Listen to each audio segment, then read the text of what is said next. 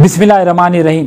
रहीम वालेकुम मौजूद हजरात, मेरे नौजवान साथियों, आप सबको फिर से मैं बताता चलूँ कि चलो प्रगति भवन का एहतजाज को मैंने आगाज़ उसका कर दिया। इंशाल्लाह वो एहतजाज जुलाई 12 बरोज़ पीर के दिन मुनद किया जाने वाला है।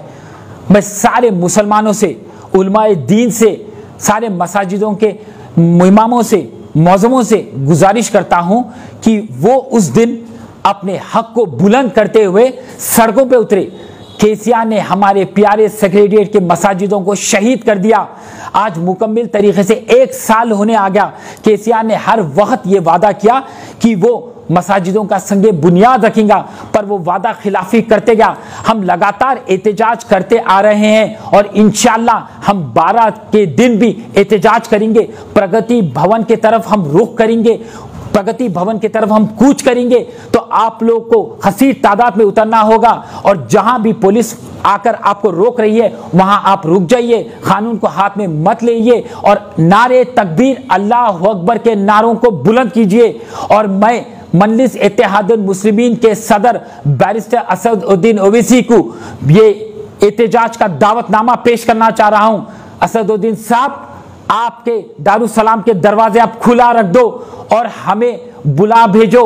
तनहा राशिद खान आएगा दारुसलाम और आपको ये एहतजाज का दावतनामा देकर जाएगा और आपको ये एहतजाज में शामिल होना होगा और आपका आज इम्तिहान है, आपको बताना होगा, या आप टीआरएस के साथ है, या मुसलमान के साथ है, आपको सियासत ज़्यादा पसंद या इस्लाम ज़्यादा पसंद, या आप मसाजिदों को लेकर फिक्रमंद है, या अपने अहदे को लेकर फिक्रमंद है, इसको आपको साबित करना होगा, सारे मुसलमानों को बताना होगा कि हाँ असद उद्दीन ओवैसी के दिल में भी आग लगी हुई है, उसके घर में भी मातम हो रहा है, क्योंकि हमारी प्यारी मस्जिद शहीद हो गई। असदुद्दीन साहब, आपको आपके साथ एमएलए के साथ सड़कों पे उतरना होगा। जुलाई 12 को हम आपका इंतज़ार करेंगे। हम तो कसी तादाद में उतरेंगे। हम ना पुलिस का सोचेंगे, ना हम कोई केसेस का सोचेंगे, ना कोई ताकत हमें रोक सकती है। तो अल्लाह का भारगा शहीद हो गया। आज हमारे दिलों में आ गए हम खामोश बैठने वाले नहीं है। अरे वादा खिलाफी हो रही है, वादा खिलाफी हो रही है। और जिस जगह पे मसाजिदों को शहीद कर दिया जाता। उस जगह पे अल्लाह की लानत नाजिर होती है कहर नाजिर होता है, और हम ये कहर को नाजिर होने नहीं देंगे। हम इतना हक की आवाज़ को बुलंद करेंगे कि वो भैरा केसीआर प्रगति भवन में परेशान हो जाना और परेशान हो जाके ये कहना कि हाँ फ़ौरन संगे बुनियाद वो सेक्रेटरीट के मसाजिद का रख दो, वरना ये उजूम तोड़ के अंदर घुस जाने वाला है।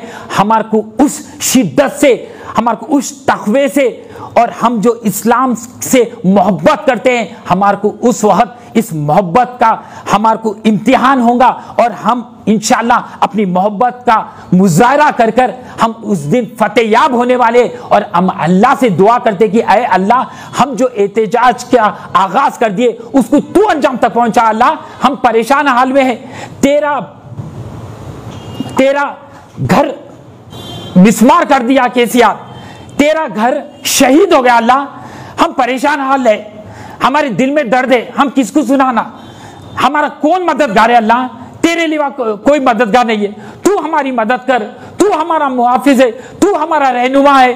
तू ही हमें रास्ता बता। तू ही हमें हिदायत दे, अल्लाह। हम सड़कों पे उतर रहे हैं।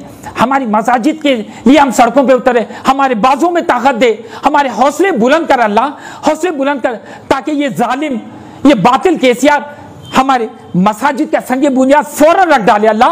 हम तैसे तैसे हम हम हम, हम तलबगार है अल्लाह। तू ही हमारे को राहत दे अल्लाह। तू ही हमारा मददगार है। तू हमारी मदद कर अल्लाह। तू हमारी मदद कर। और इनशाला मेरे को मेरे अल्लाह पे पूरा भरोसा है कि अल्लाह हमारी ताकत में इजाफा करेगा और हम उस दिन फतेहयाब होंगे इनशाला आमीन। खुदा हाफिज।